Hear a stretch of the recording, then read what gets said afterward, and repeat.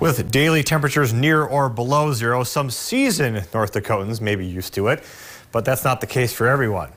Lauren Davis spoke with two non-North Dakotans with very different opinions on their first winter here in the Peace Garden State. Chances are, if you went outside today, you've seen snow. North Dakota is known for its unforgiving winters with cold temperatures and even colder winds. If you're anything like me and you're new to North Dakota, you need to get yourself a good pair of mittens and some new winter boots.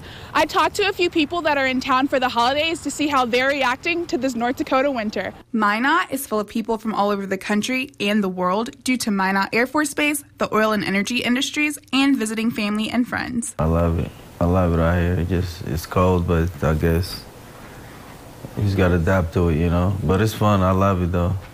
Yeah, I never lived in the snow before in my life. He says when he moved to the U.S., he moved to a warmer climate that did not prepare him for the cold. I was born in a hot continent and I moved to a hot state in Arizona, you know.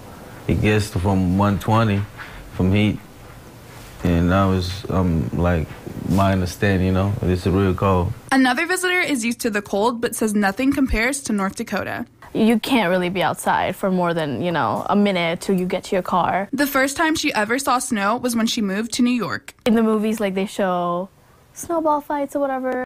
That wasn't the reality, at least for me, for the first like two to three years. I couldn't really go out and make snowballs even with gloves on i my hands would get so like red and just inflamed almost she has advice for people who are either visiting or moving to north dakota if you're coming from a warm place, definitely pack many, many layers. Uh, expect to literally be frozen because it's cold. I just realized it's colder outside than your refrigerator, probably even your freezer. You may have heard, why not Minot? Some say because freezing's the reason. For KX News in Minot, I'm Lauren Davis. For those of you who are in from out of town, welcome. Thank you for watching, and you can always check the free KX Storm Team app to keep you ahead of any incoming winter activity.